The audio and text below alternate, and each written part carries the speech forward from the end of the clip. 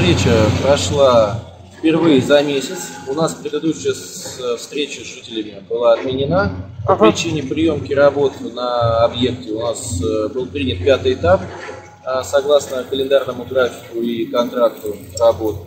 А встреча прошла впервые за месяц. Значит, на встрече обсуждались вопросы системы дегазации. Вопрос уже неоднократно поднимался, и мы сейчас передали э, представителям рабочей группы э, требуемые от нас документы и документы от субподрядчиков, которые непосредственно будут заниматься установкой системы дегазации на объекте. И также пробы воздуха, воды, э, почвы на близлежащей территории к полигону.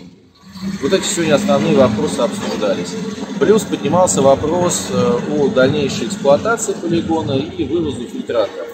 По фильтрату было дано пояснение о том, что у нас э, последний месяц контракта идет по вывозу, это ноябрь месяц с компанией «Контракт». Значит, в октябре было ну, достаточно мало фильтрата, э, сейчас он накопился и с понедельника возобновится вывоз фильтрата. Значит, что касается дальнейшей эксплуатации, также даны были пояснения, что в настоящее время есть ориентировочная сумма эксплуатации полигона в год. Данная информация направлена в Министерство экологии. По данному вопросу будут э, в дальнейшем проводиться совещания и принятие каких-то решений э, по дальнейшей судьбе эксплуатации. Пока как бы окончательного решения по данному вопросу нет.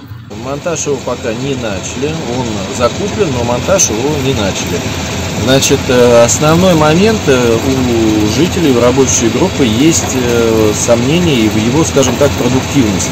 Да, и можно сказать, что и целесообразности. А, значит, пояснение такое, что проект все-таки не зря проходил три экспертизы. Да, а, да, у него, скажем так, пока у нас тоже есть вопросы по наличию определенных документов. Мы сейчас их также запросили и пояснение у Министерства экологии, э, пока тоже как бы официального ответа мы не получали. А, но мы действуем согласно контракта и согласно проекта. Мы тоже не можем отступать от них, потому что ну, это наша зона ответственности, скажем так. Угу. Мы несем за это ответственность. Потому что если мы что-то будем делать от себя и делать это без согласования Э, с вышестоящими органами, то просто ответственность тогда будем нести мы в данном случае. И так как суммы здесь достаточно большие, соответственно, она будет тоже меньше ответственности. Так. Принципе, последние несколько совещаний постоянно приглашаем, они дают э, свои пояснения. Объяснения. Мере, ага. Да, возможности. Э, всегда присутствует, собственно, представитель генподрядчика и Автоспонадзора. Сейчас передали информацию на, скажем так, Э, в виде официальных писем э, для рассмотрения рабочей группы. Если у них будут вопросы, мы готовы будем на какие-то моменты дать пояснения, либо направить их э, в адрес субподрядной и организации.